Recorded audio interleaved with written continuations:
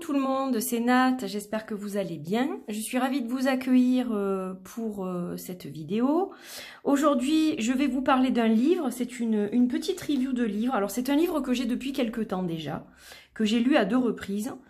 Euh, parce que bah, tout ce qui concerne l'Égypte ancienne me fascine et hum, en particulier les divinités et les divinités, les puissances félines d'Égypte. D'autant plus, n'est-ce pas? Donc là, on a un magnifique livre sur euh, Sekhmet et Bastet qui a été euh, écrit à la base par Leslie euh, Jackson, qui a été traduit donc en français, paru chez les éditions Danae, qui font partie du label Alliance Magique, que je remercie d'ailleurs de m'avoir envoyé ce, livre afin que je puisse vous le, vous le faire connaître si vous ne le connaissez pas. Donc c'est un ouvrage, comme vous le voyez, qui est très complet, euh, voilà, et qui nous emmène en voyage euh, pour faire mieux connaissance avec ces divinités euh, félines d'Égypte. Donc c'est un très très beau livre. je souligne qu'il est imprimé en France et de façon écologique. Voilà. Alors je vais vous lire ce qu'il est mentionné au dos et puis on va feuilleter quelques passages ensemble. Sekhmet et Bastet, puissance féline d'Égypte, est une étude détaillée de l'histoire de la mythologie, du symbolisme et du culte de la déesse Lyon et de la déesse Chat de l'Égypte antique. Leslie Jackson retrace l'évolution de Sekhmet et de Bastet dans le contexte des rituels religieux, des croyances et des pratiques de l'Égypte ancienne. Sekhmet est la maîtresse des deux terres, la maîtresse des dieux, mais aussi l'œil de Ré et la bien-aimée de, Ptah. Dans cet ouvrage, l'auteur illustre comment le symbolisme et le pouvoir des félins imprégnaient l'Égypte antique. Elle réunit des preuves de leur importance en s'appuyant sur une grande variété de sources, dont des artefacts, des scènes de tombeaux, des statues, des textes funéraires et des amulettes utilisés pour garder le corps et la tombe des défunts. Les noms, épithètes, iconographies, caractéristiques, festivals et temples de Sekhmet et de Bastet accompagnés d'informations sur le monde culturel, historique et symbolique, viennent compléter cette étude passionnante. Donc c'est un livre qui est très complet sur le sujet.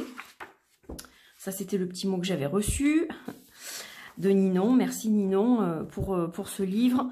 Donc j'ai mis un peu de temps, c'est vrai, à, vous le, montrer, mais bon, c'est vrai que je, fais énormément de choses en ce moment.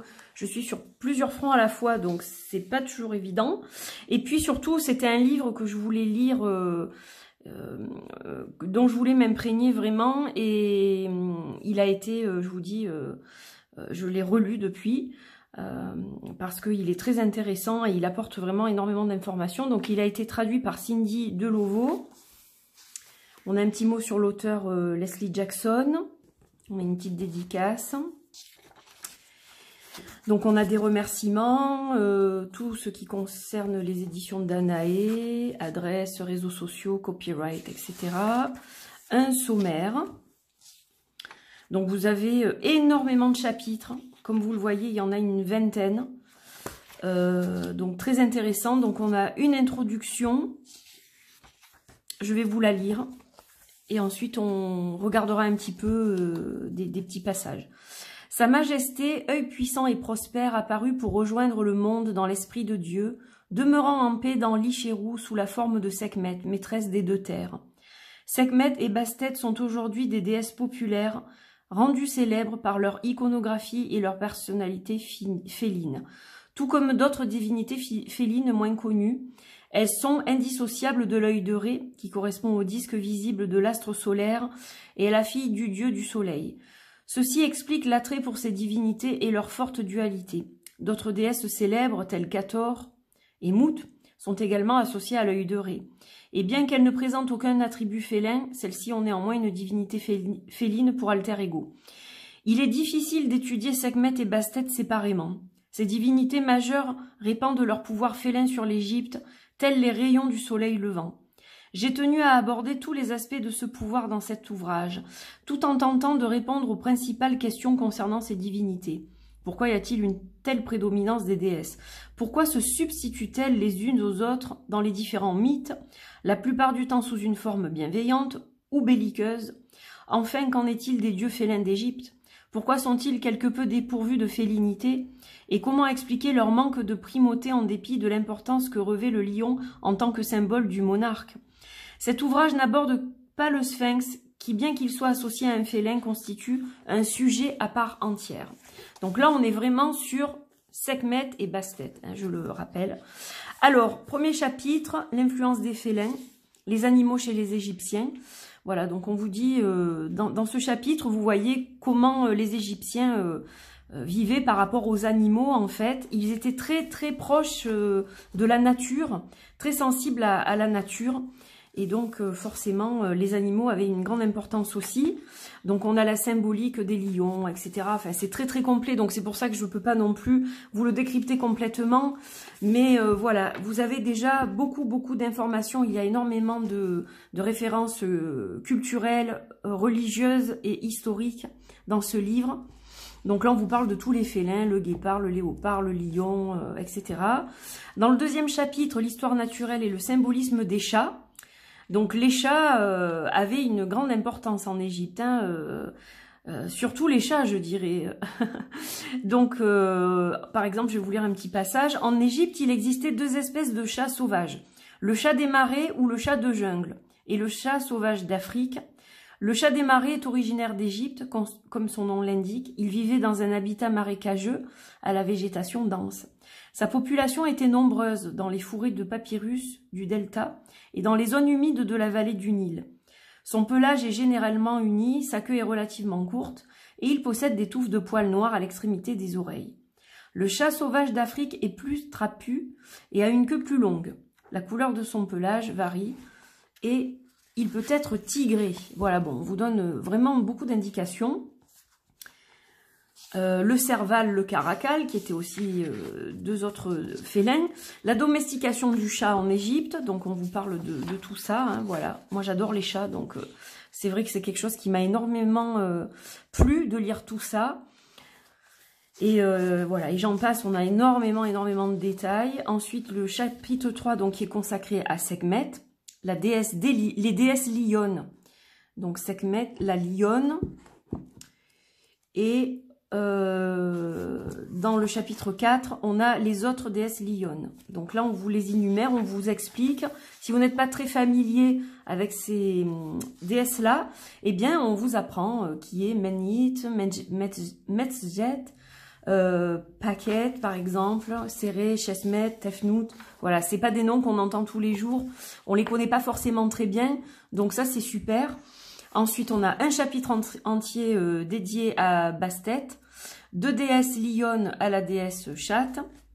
Donc euh, là, vous avez tout un reportage, euh, pas un reportage, mais oui, pratiquement, euh, sur elle. voilà, c'est un, chapitre qui est très très complet aussi, comme le précédent sur Sekhmet. Et en 6, les déesses de l'œil de Ré non félines. Alors, il y a des déesses, comme je vous l'ai dit précédemment dans le petit extrait que je vous ai lu, qui sont connectées à l'œil de Ré, mais qui ne sont pas euh, désignées par, euh, par des félins. Donc euh, on, voilà, on vous parle de ces déesses-là. Donc on a Hathor, on a Hathor et Ré, Hathor et les chats, on a Mout, on a plein de, de détails, Satis et Anoukis. Voilà, donc encore une fois, si vous voulez apprendre des choses, Raët aussi, si vous voulez apprendre des choses, ce livre va vous apprendre des tas de choses sur ces deux déesses-là. Vous allez euh, tout connaître sur le sujet. Hein. Euh, les dieux félins. Donc là, une énergie différente. Hein, elle est au masculin. Donc on vous parle de tous les dieux félins. Aker, Maès, Ruti, Toutou ou Titouès, voilà, plusieurs euh, dieux qu'on ne connaît pas là non plus forcément. Il y a Amon, autre dieu à forme léonine, donc Amon, Bess, Horus, Thoth, Nefertum. D'ailleurs, j'ai mis le, pendule de Thoth là, tiens, pour nous accompagner. On était dans la bonne énergie là. Voilà. Chapitre 8, la création et le pouvoir originel. Pourquoi une telle prépondérance des déesses lionnes? Alors ça, je vais vous le lire, je vais vous lire le petit passage qui est là. On trouve des dieux lions dans d'autres pays, notamment en Nubie. Toutefois, à ma connaissance, on ne trouve aucune déesse lionne indigène ailleurs qu'en Égypte. Cela semble être propre à ce pays où la majorité des divinités félines sont des déesses. Pour la plupart associées à la lionne, bien que certaines puissent également être associées au chat. Qu'est-ce qui explique une telle, prépondérance? Dans l'art, les représentations de lions sont bien plus fréquentes que celles des lionnes. Cela n'a rien d'étonnant puisque leur crinière leur confère un caractère distinctif. En outre, le lion était un symbole bien ancré dans la monarchie et chez les héros masculins. Les lions étaient considérés comme des adversaires de taille pour les monarques. La domination des déesses lionnes s'explique par le fait que l'Égypte était une monarchie absolue. C'est la nature de l'énergie féline qui remonte à l'époque de la création, qui explique que celle-ci soit manifestée chez les déesses plutôt que chez les dieux. Voilà l'explication. Euh, alors, là aussi un chapitre très intéressant. Ensuite, on passe à l'œil du soleil et l'Uraeus. Tes yeux pleins de vie qui exudent le feu, tes yeux célestes qui illuminent l'obscurité, éveille-toi en paix afin que ton réveil soit doux. L'importance des yeux. Eh oui, l'œil du soleil, l'œil de Ré. Les yeux occupent une place importante dans toutes les cultures, la vue étant notre sens le plus précieux. Les yeux sont la partie la plus importante du visage car ils permettent d'identifier les personnes que nous rencontrons et de communiquer de manière non verbale. L'œil est l'un des symboles les plus répandus et les plus complexes de l'Égypte antique. En tant que principale source de lumière, le soleil et la lune étaient étroitement associés à l'œil qui représentaient une forme similaire à la leur. Ils étaient considérés comme les yeux du Créateur, comme les yeux ardents issus de Sekhem. Ce qui les associe une fois de plus à Sekhmet qui personnifiait, qui personnifiait pardon, le pouvoir originel. Le soleil et la lune étaient divins en soi. Toutefois, ils n'étaient pas considérés comme les divinités à part entière, mais étaient plutôt étroitement associés à certaines divinités. Voilà, donc c'est vrai que les yeux sont très importants. Alors moi-même, j'ai une fascination pour les yeux parce que j'en dessine très souvent. Euh, et c'est vrai que ben, les yeux sont le reflet de l'âme pour moi. C'est ce qu'on dit en plus. Hein. Les yeux sont le reflet de l'âme et on peut communiquer avec quelqu'un à travers le regard seulement. Euh, voilà, c'est vrai que c'est particulier les yeux. Donc euh, ça avait une grande importance aussi dans, dans, leur culture dans leur façon de vivre, de voir les choses. Euh, voilà, la lune et le soleil euh, étaient considérés comme les yeux de, Dieu. Hein. Donc euh, voilà, je, tenais à vous lire ce passage. les mythes autour de l'œil. Donc là, on a tout un descriptif sur les yeux. Donc l'œil de la colère, l'œil protecteur, l'Uraeus. Voilà, c'est super intéressant. Donc vous apprenez plein de, choses. Alors là, on a un mot sur les déesses euh, Cobra. Donc, on parle aussi d'autres déesses. Comme vous le voyez, on va aborder euh, certains euh, autres sujets. Je pense que c'était un peu flou, non? Je suis désolée si c'est le cas. Mais on va apporter d'autres précisions sur d'autres divinités. Donc, c'est très intéressant parce que finalement, on apprend sur d'autres choses aussi. C'est un ouvrage complet sur le sujet, mais on vous apprend aussi d'autres choses qui sont tout aussi intéressantes. Donc on vous parle des dieux serpents, les serpents sur le trône, du cobra à la lionne. Voilà, bon, ça ce sont des, des choses qui me parlent beaucoup aussi. Le pouvoir féminin du soleil est représenté sous la forme du cobra Uraeus. Les mythes expliquent la transition de la déesse de l'œil de Ré vers le cobra Uraeus et comment est-elle devenue une déesse lionne? À l'origine, quel était le lien entre le cobra et le lion? Nous ne le saurons probablement jamais. Tous deux étaient étroitement associés au soleil dès le départ. Il s'agissait également de symboles très importants. Il est probable qu'il ait été nécessaire d'associer leur symbolisme pour illustrer l'essence même de la déesse de l'œil de Ré. Une étude approfondie du serpent en Égypte pourrait faire la lumière sur ce lien. Il est possible que l'Uraeus représente le pouvoir concentré du soleil, dirigé depuis un point précis dans le ciel, et que la lionne représente un pouvoir plus apaisé, libre de se répandre sur les terres. Quelle que soit l'explication, c'est sous les traits d'une lionne que Sekhmet apparaît dans le mythe décrivant sa venue au monde. Alors moi, c'est vrai que le cobra, alors on, on va pas parler d'une lionne mais d'un lion, mais j'ai un tarot euh, dans une illustration qui représente la force, le El Goliath, euh, on a un cobra et un lion. Et c'est vrai que moi, j'ai pensé euh, tout de suite, quand j'ai vu cette carte, à ce moment-là, j'avais pensé à, l'Égypte, au lien entre le cobra et la lionne. Mais bon, là, on parle d'un lion donc dans le tarot, donc c'était différent. Mais je retrouvais quand même cette association un peu. Et euh, voilà, c'est vrai que j'avais pensé au lien euh, que faisaient les Égyptiens entre le, le, cobra et la lionne, euh, à, cette, à, ce pouvoir solaire associé à, à l'œil de Ré. Et, euh, et, voilà, je, ça m'a fait penser à ça. Mais, et là, de le relire, justement, j'avais pensé à ça. Je me suis dit, tiens, ça m'avait percuté à ce moment-là. Mais là, on parle bien d'une lionne. Donc, c'est pas, pas tout à fait la même chose, mais ça m'a quand même interpellée. Euh, parce que le, lion de la force étant relié au soleil, au signe astrologique du soleil, euh, eh bien, euh, c'est vrai que voilà, le, cobra étant relié au soleil aussi, pour moi, il y avait un lien, il y avait une référence. quoi. Voilà, voilà. Alors, chapitre 10, le châtiment divin, la fin de l'humanité. Le mythe de la fin de l'humanité raconte comment le divin retourna sa colère contre les hommes. Il tente d'expliquer les raisons de la souffrance et des tragédies qui marquèrent le peuple et le pays.